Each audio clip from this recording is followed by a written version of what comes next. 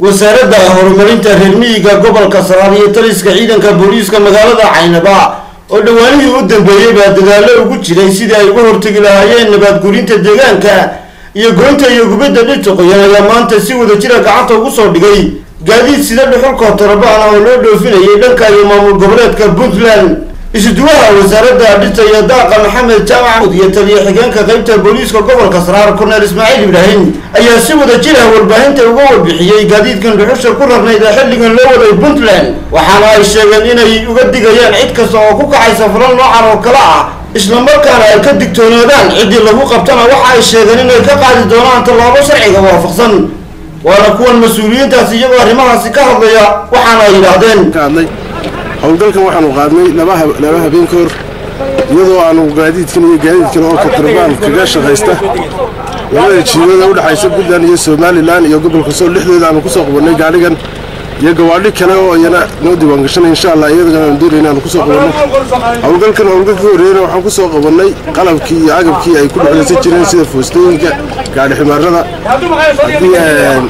waxaas jiingadaha kuwaasoo aanu iyadana aanu ka soo dabargoynay gobolka saraar haddeerna waxaan ugu baaqinaa dadweynaha shicibka gobolka saraar inay ka hortagaan cid kasta oo dibindaabyo ku haysa dhulka iyo dhirta qoyan. Waxay had iyo jeeraale isticmaalaan waddooyinkan u dhexeeya sool iyo iyo togdheer. Waxaanay u qaadaan dhuxushaasoo geeyaan sool iyo inta ka sii shaysa iyagoo ay u bannaan tahay waddadii waddooyinkii puntland iyo burco ay u bannaan tahay iyadoo ay had iyo jeeraale ay la dhuuntaan oo ciidamada booliiska kala dhuuntaan iyo shaqaalaha loo xil saaray wasaaradda daaqa qaranka. Waxaanu gaarigan ka soo qabannay jiidda u dhexaysa labada gobol gobolkan la yidhaahdo saraar iyo gobolkan la yidhaahdo sool. Dhexdooda isagoo sii socda ayaan ciidamada booliiska ay soo qabteen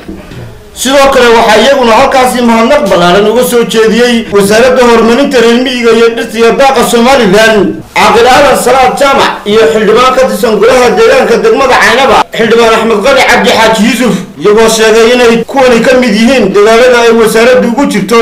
sida ay u badbaadin lahayd deegaanka. Maxamed aadan diriir telefishinka caalamiga ee somaali channel